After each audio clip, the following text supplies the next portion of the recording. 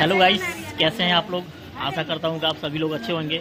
और देखिए, आज हम पटना के पावन धरती पे आए हैं, यानी बड़ी पटन देवी मंदिर है। अभी हम वहीं पर स्थित हैं। माता रानी की पूजा अर्चना करने के लिए आए हैं।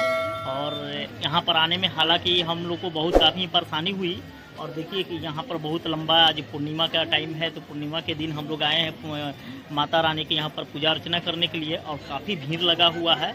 और मंदिर का सीन भी आप लोगों को दिखाएँगे। और देखिए यहाँ पर हालाँकि आप लोगों को भीड़ का मात्रा दिखा रहे हैं, काफ़ी एकदम भीड़ है, एकदम बहुत ही लंबा लाइन लगा हुआ है यहाँ पर। बहुत ही काफ़ी लंबा लाइन लगा हुआ है और आने में यहाँ पर थोड़ा सा कष्ट होता है। यहाँ पर अगर फोर व्हीलर से कोई भी व्यक्ति अगर सोचे कि अपना गाड़ी से आएँ तो नहीं आ सकते हैं, क्योंकि बहुत ही पतला गली है। अपना बाइक से आ सकते हैं या ई रिक्शा ये सब आ सकता है। चलिए, अब आप लोगों को हम दिखाते हैं मंदिर का अंदर का सीन और यहाँ पर देखिए कुछ कुछ दुकानें हैं। दुकानें का सीन आप लोगों को दिखा रहे हैं। बने रहिए मेरे चैनल के साथ। धन्यवाद। देखिए फ्रेंड्स यहाँ पर माता जी हैं जो फूल पत्ती बेच रही है और प्रसाद वगैरह भी बेच रहे हैं। यहाँ पर चुन्नी भी बेच रहे हैं माता जी और हम लोग यहाँ से लेकर के अब जो शक्ति पीठ है, पटन देवी मंदिर है, अब वहीं पर हम लोग बड़ी पटन देवी मंदिर, वहीं पर हम लोग चल रहे हैं। माता रानी को पूजा अर्चना करने के लिए। देखिए फ्रेंड्स इतना लंबा लाइन है यहाँ पर माता रानी को, यानी बड़ी पटन देवी मंदिर के पास पूजा अर्चना करने के लिए आए हुए हैं और देखिए काफ़ी लंबा लाइन है। और इसी लाइन में हम भी लगे हुए हैं। करीबन लमसम अगर एक घंटा से अभी तक लगे हुए हैं। अभी पता ना कितना देर अभी और लगेगा हम लोगों को। और देखिए यहाँ पर भी मेरी मैडम भी यहाँ पर लगी हुई है माता रानी को पूजा अर्चना करने के लिए। अब चलिए, जब पूजा अर्चना करेंगे मंदिर के अंदर तो उसका सीन आप लोगों को दिखाएँगे। बने रहिएगा मेरे वीडियो को। अंत तक, धन्यवाद।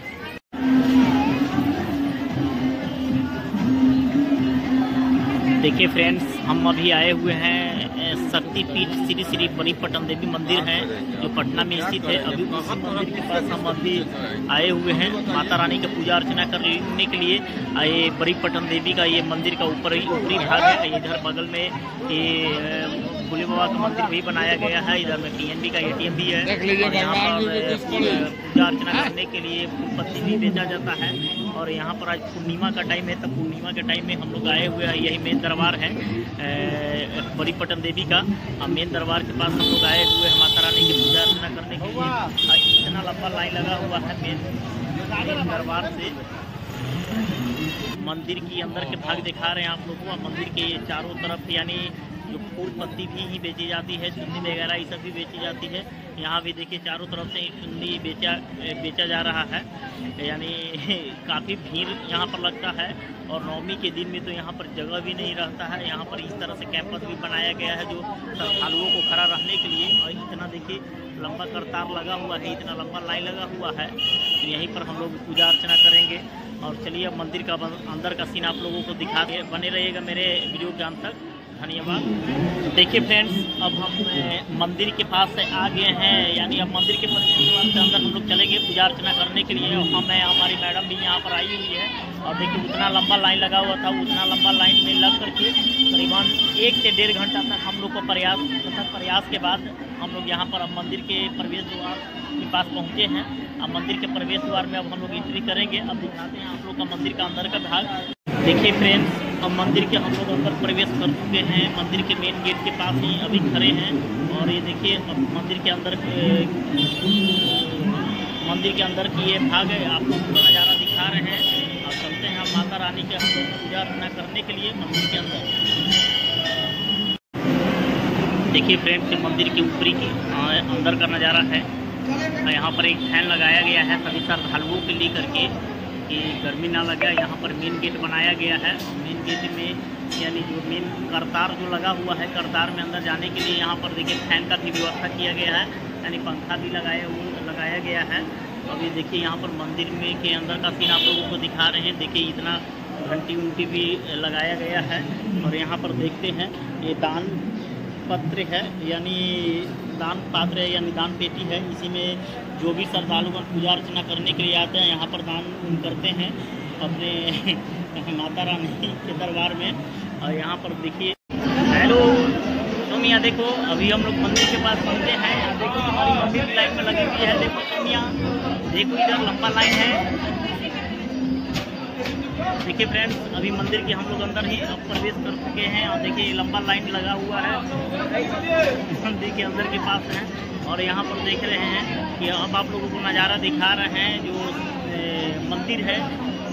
मंदिर के अंदर का नज़ारा आप लोगों को दिखा रहे हैं।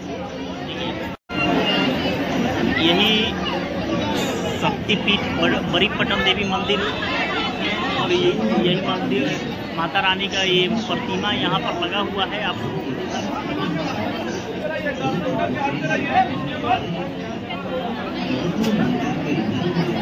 शीतल जल का व्यवस्था कराया गया है मंदिर के अंदर।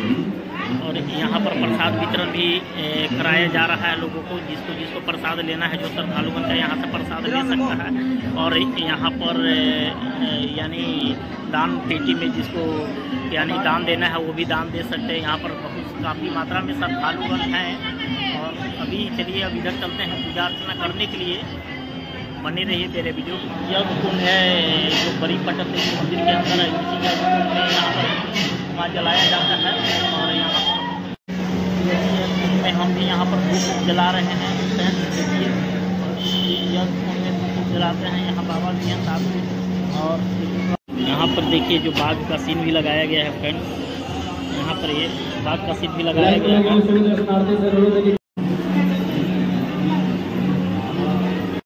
यहाँ भी दान पत्र बनाया गया है, दान पेटी बनाया गया है फ्रेंड और हम लोग को यहाँ से पूजा संपन्न हो गया। अब हम चलते हैं अपने घर की ओर। और कैसा लगा आप लोग को वीडियो? तो हमारे चैनल को सब्सक्राइब कीजिएगा। वीडियो अगर अच्छा लगा होगा तो शेयर ज़रूर कीजिएगा। कमेंट भी कीजिए। अगर कुछ ऐसा लगे तो चलते हैं अपने घर की ओर। धन्यवाद।